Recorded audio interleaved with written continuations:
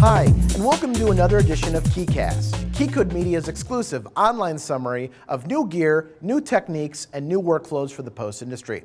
As always, I'm your guide, Michael Kammes, an applications editor and workflow consultant at KeyCode Media. Today, we'll be expanding on our new product series and discussing a new network-based backup appliance, Cache.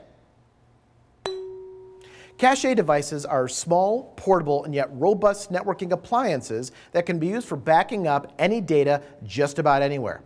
Utilizing industry standard LTO4 tapes, these devices give you the flexibility of a NAS, the usability of a web page, and the reliability of LTO4 tapes. So, why are these devices quickly becoming a necessity in today's post industry? Here's why. Whether you're on set or in the edit bay, there comes a point in time when you need to battle for storage. Nearchive and archive. What do you keep? What do you lay off and what do you delete? And what about compatibility? We need our remote personnel and clients to have the ability to easily access our data without headache. We also demand reliability. Even the best hard drives out there will fail someday. After all, they're machines with moving parts. Lastly, with the proliferation of tapeless formats, the ability to safeguard your zeros and ones is paramount, both for usability and insurance. So, why is the LTO4 tape core of the cache the answer? Well, let's jump into the geek of it for a moment.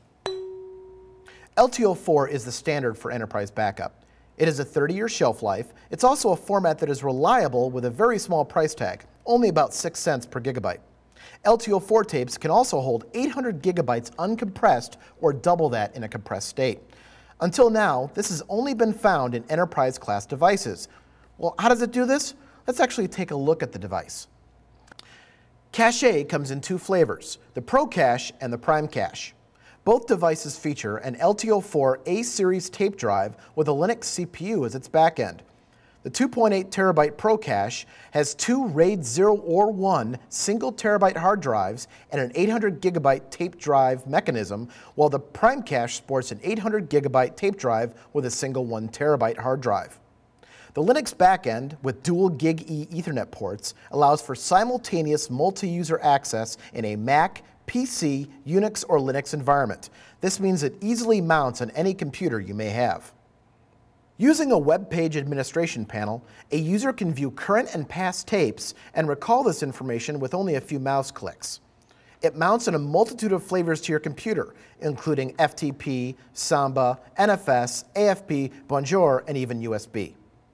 The ProCache even has an eSATA port and express slot available. What Cache also does is retain a directory of every single tape that has ever been inserted into the drive. Since all the metadata is retained and indexed, this means easy searchability and locating old media is a breeze. See, Cache was designed with post in mind, so much so that NLEs such as Avid and Final Cut Pro can actually utilize media off of the tape in real time just like a hard drive. So how do we see this being used in today's workflows? Well, let's examine a few. First off, on set. You can use Cache to back up your P2, XDCAM, and R3D files and never have to worry about a hard drive failing or becoming damaged during shipping. More and more insurance carriers are demanding that your sensitive and expensive footage be kept on something a little bit more reliable than a FireWire drive. Cache can also be used to clear off your edit bay's storage for your next project yet enable you to search, retrieve, and actually utilize that same project and media in the future with minimal time and effort.